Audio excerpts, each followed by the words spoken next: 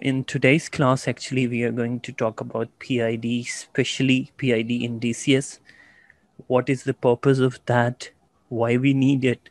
To understand it, it's better to first get into what was before then a PID. So, if you talk about the industry before PID or before automation revolution, this was how the operations were actually held or operation were going on in industrial automation or not automation in process industry you can say that. So what was happening like you can see a furnace here. This is a process that need to be controlled. This is a manual controlled procedure. What was happening there was a gauge temperature gauge that displays how much is the temperature inside that furnace. And there was a hand valve here. The purpose of hand valve was to actually control the flame inside that. You can see the flame here. So if you're going to open it up, this hand valve, more flame is getting into. And if you're going to close it based on what's the temperature here, like for example, if temperature is high inside the furnace, looking into the gauge, the person can see and visualize that from here and based on the value what you're what he's seeing here on the gauge he is going to decide how much is the opening of the wall or how much should be the opening of the wall. But this this looks not a decent way to control it. There should be some automation involved. And that's where actually pids come into the picture. And pid is doing the same job in a perfect and the best way. How it happens if you can see here we have instead of a human like we need to place a person operator to see and make a decision. And that's a human based decision. Now instead of a human we adopt a controller specific initially. Then eventually we use the dcs and plc also for that reason. I would come into that. So what happened um, that instead of a gauge you put in a transmitter. Transmitter is actually connected to controller and that control this the current value of the temperature inside the furnace is actually measured by a transmitter and that's called process value or pv so in a term of in terms of pid it's very important to understand pv set point co so pv is the current process value. For for example uh, the temperature inside the furnace is 40 so this PV would be 40 by, and it would be calculated or sent by transmitter or made by a transmitter and send it in the form of uh, like 4 to 20 milliamperes to the controller. And controller will see, okay, there is a one set point. Set point is what you want. Like for example, you see here set point is 85. And you can see your PV is 84.9. You understand here?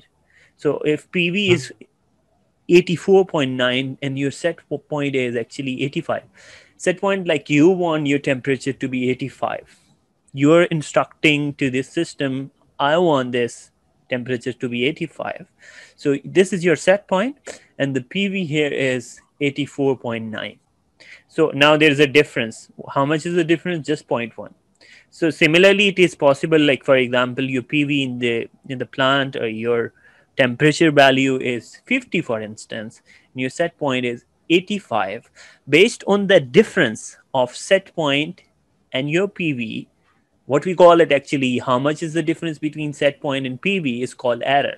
So based on error actually your controller is going to send a co or control output signal to control valve it's it's going to send that co signal to control valve and control valve will based on what is decided by a controller how much is need to be open to maintain that set point value as a pv value.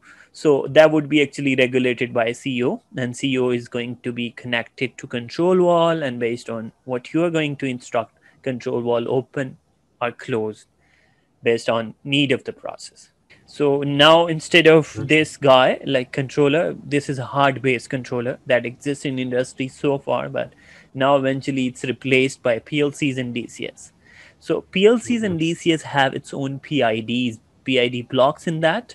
So you can also use that PID blocks. So there is a flow meter you can see here. that is actually this is one of the another example to understand the PID concept. So this is a water flow and there's a control valve that regulates the amount of water to get in. And this is a flow meter. So uh, this is the flow meter here. And the you you put up a value of 3.5 you want that flow meter uh, or flow to be 3.5 and then uh, you can see here in this scenario your pv is also 3.5 pv is actually mm-hmm. this 3.5 value here. So um, it's a very simple closed loop mechanism. This flow meter, uh, flow transmitter is going to be connected to a DCS. This is a DeltaV DCS. So this guy need to be connected to the analog input module of a DCS system. Okay. Okay. If you see in a real industrial environment, then this flow meter need to be connected to a DCS analog input module, and then now uh, there's a PID block inside that processor of a DCS that would regulate that, and we will show you in coming uh, sessions like how to actually make a PID block in a DCS. But for now, you understand that this guy need to be connected to the DCS, and inside the DCS there is a PID block, and PID block would be having a set point, a PV, and also some other like PIND terms which are you know some algorithms we will talk about that in details how to actually select pid there are different methods for the tuning of pid loops. But for now you have to understand that this is straightforward flow meter and flow meter is connected to your dcs system. And then that guy uh, have an analog output module also.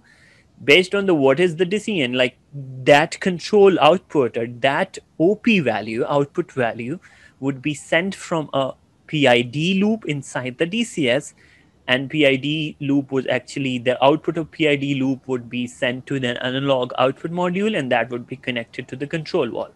So like for instance, the value here is 3.4 or 3 that mean there is a difference between set point and PV. What would happen? If there is a less flow here, the control valve need to be open more. You understand? To meet the requirement of uh, your set point.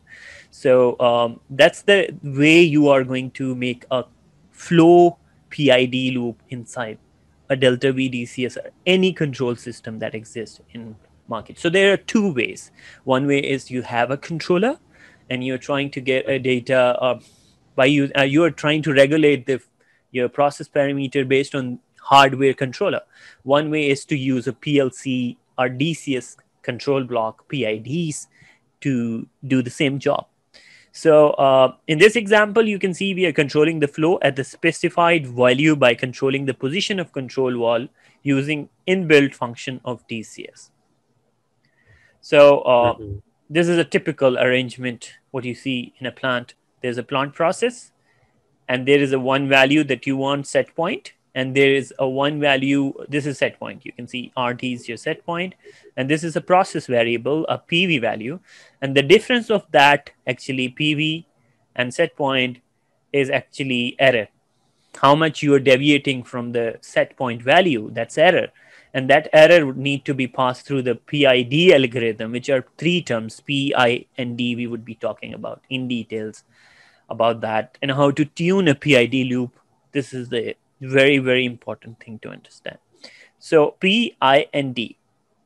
So it would pass through this PID, mm, you, you can say block that consists of three terms in that. And there would be a tuning tricks and tricks we tips and tricks that we are going to actually talk about in detail.